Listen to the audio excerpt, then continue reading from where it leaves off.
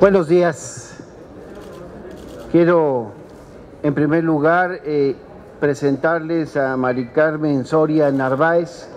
aquí a mi izquierda. Ella es representante del Comité Liquidador de la Caja Progresa de Dolores Hidalgo. El tema que hoy venimos a tratar tiene que ver con un asunto que hemos planteado en diversas ocasiones en este Senado de la República, es luchar porque los ahorradores defraudados logren el objetivo de recuperar parte de los ahorros que con mucho esfuerzo lograron depositar en un sistema financiero nacional tan débil que a falta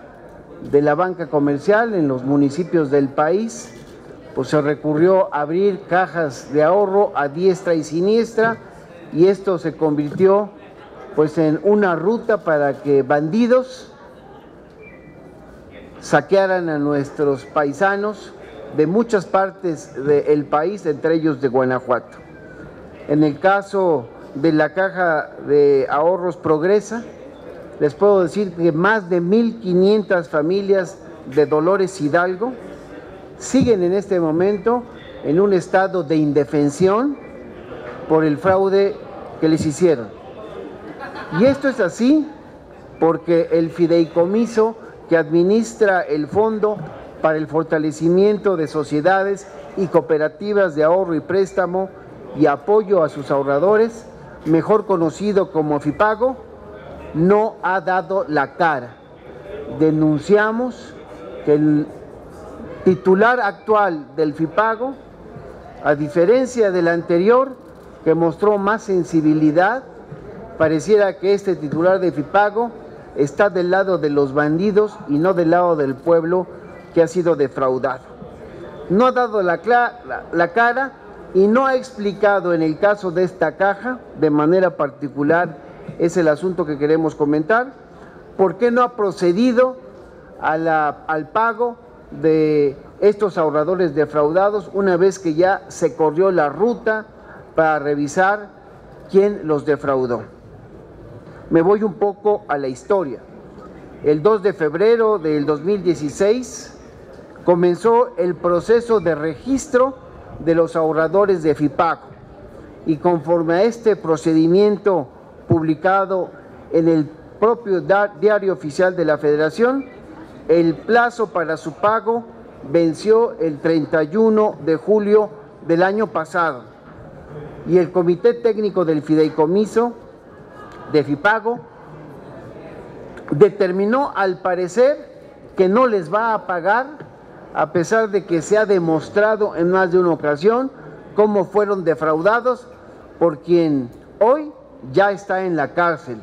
Y eso hay que reconocérsele también al gobernador de Guanajuato, porque después de haber platicado con él, haberlo puesto al tanto, por supuesto que con sus buenos oficios, estuvo también presionando para que el Poder Judicial de su estado hiciera la tarea que le correspondía. Sin embargo, hoy los ahorradores defraudados siguen viendo con, con asombro que no pasa nada, al contrario, están viendo cómo se siguen dando medidas en su contra. Es el caso, por ejemplo, del edificio donde se encontraban las oficinas de esta caja de ahorro, que ahora pretende ser rematado por el SAE, por el Servicio de Administración y Enajenación de Bienes,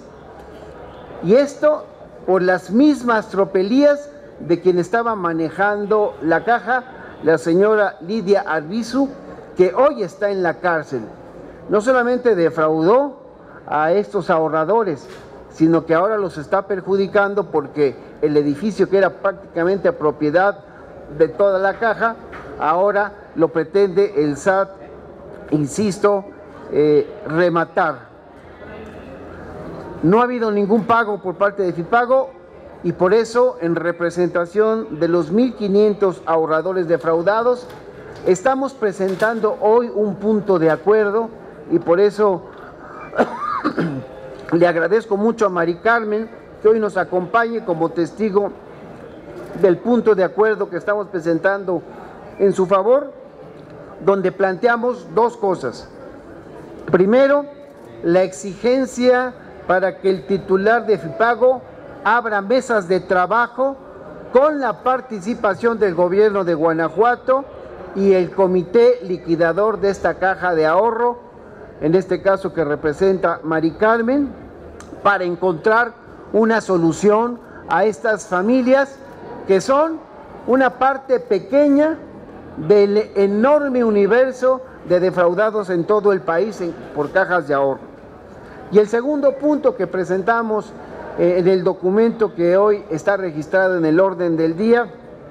es que la Secretaría de Hacienda y Crédito Público y el propio Servicio de Administración y Enajenación de Bienes realicen también una mesa de trabajo con el Comité Liquidador de Caja Progresa para analizar la posibilidad de entregar el inmueble donde se encontraba la caja en calidad de comodato a los ahorradores defraudados para que puedan realizar por lo menos alguna actividad que les permita resarcir parte de lo que se les robó, para que les cuente en qué condición se encuentran muchísimas personas, 1.500 familias allá en Dolores Hidalgo, para que pueda expresar con más sentimiento el dolor que están viviendo estas familias, que no solamente fueron defraudadas, sino que ahora otra vez se está atentando contra ellas. Le doy la palabra a Mari Carmen Soria Narváez, insisto, representante del comité liquidador de la Caja Progresa de Dolores Hidalgo, para que ustedes puedan tomar nota de la gravedad del tema que les estamos planteando, Mari Carmen. Muchas gracias, senador. Muchas gracias a todos. Voy a tratar de ser muy concreta. Dolores Hidalgo, cuna de la Independencia Nacional Guanajuato, está catalogado como el primer municipio a nivel nacional que recibe el mayor número de remesas. O sea, que quiere decir que mucha de su gente que está en Estados Unidos manda este dinero. El 85% de la gente, de los ahorradores que invirtió su dinero en Caja Progresa, proviene de las remesas.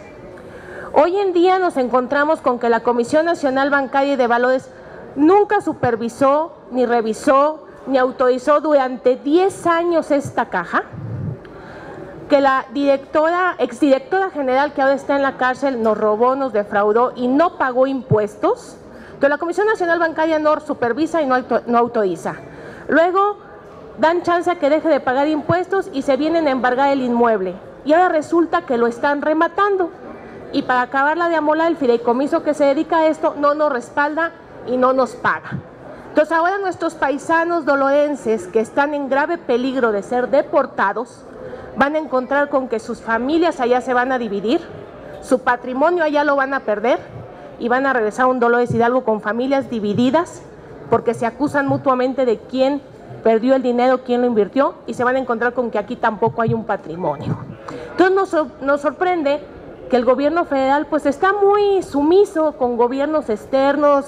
con eh, otras este, eh, autoridades como Estados Unidos, muy sumisos, van a mesas de negociación, toman todo con calma y son abusivos y prepotentes con los dolorenses y con la gente que va a Estados Unidos a trabajar y a poner su dinero en cajas fraudulentas. Esa es el tragedia que estamos viviendo ahorita. No puedo dejar de señalar y le pido a nuestra amiga su total comprensión porque me he involucrado en este tema porque sin duda en muchas partes del país y Oaxaca es un claro ejemplo Oaxaca, mi estado, el que represento en este Senado, también acusa una falta de atención. En Oaxaca son más de 40 mil familias las que siguen padeciendo la falta de atención a lo que les robaron administradores de cajas de ahorro. Son más de 4 mil millones de pesos los que habían logrado depositar en estas cajas y ahora no pueden recuperarlos. En la administración pasada, otra decepción más del saqueador de Oaxaca, Gabino Cue, tampoco estuvo a la altura de apoyar a los ahorradores defraudados. Por eso nosotros tenemos que sumarnos a los compañeros ahorradores defraudados de la Caja Progresa de Dolores Hidalgo, lo hacemos con nuestros paisanos de Oaxaca y por supuesto con los más de 150 mil mexicanos que en el país han perdido más de 25 mil millones de pesos por este robo de los administradores de cajas de ahorro. Ayúdenos a difundir esta información porque hay insensibilidad por parte de las autoridades hacendarias, como ya lo dijo aquí nuestra amiga Mari Carmen, y nosotros no podemos quedarnos con los brazos cruzados. Muchísimas gracias por su atención.